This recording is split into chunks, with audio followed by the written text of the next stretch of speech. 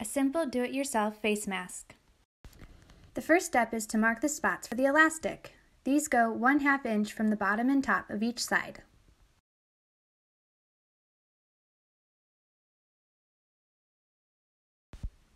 The elastic will tug on your square if you pin both sides at the beginning, so I like to pin only one end for now and anchor the other end as I sew.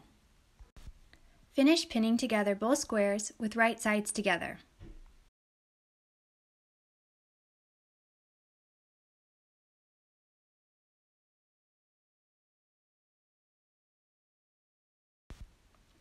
Sew together leaving a 2 inch opening at the bottom. These are marked by the red needles.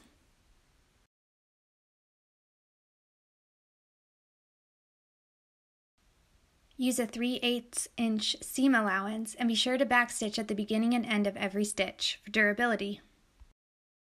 Clip the corners, turn right side out, and press.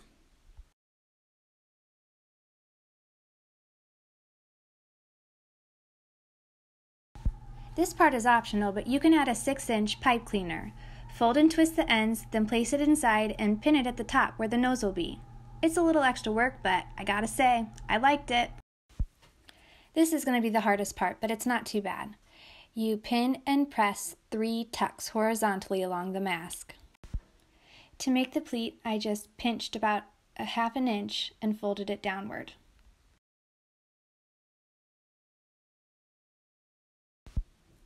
You can use the gray guidelines on the printable pattern by marking them at the beginning, but the main thing is to keep all the pleats going in the same direction. The mask should be 5 inches tall when it's completed.